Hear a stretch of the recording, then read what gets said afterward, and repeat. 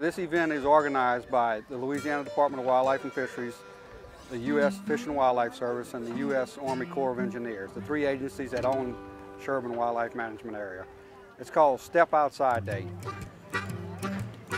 We have fishing for the kids, boat rides in Big Alabama Bayou, archery shooting, and now that crossbows are legal, we have crossbows. They've come on board and, and come out every year. Bullseye. You don't have to bring anything. We supply everything. We supply the bows, the, the bullets, the guns, the, the fishing poles. We have a lot of repeat visitors. When people come, they get to bring things home. Since we started six years ago, it was about three or 400 people. And now, today, it's up to almost a thousand. And the people that we see return year after year after year are just letting us know that this is a fantastic event. We'll definitely be back. I get emails all the time. You know, I brought my kids over there, they had a great time. When is the next one? It's all free. Everything's free. We got free food, we got free drinks.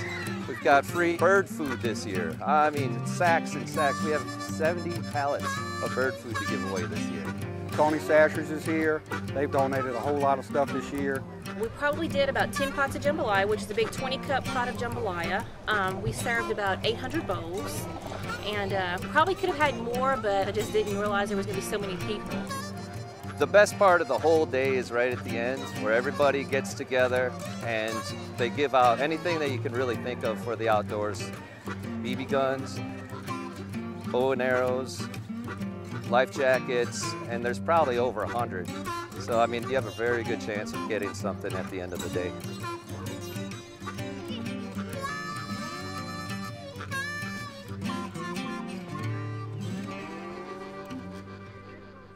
You had a great time, people.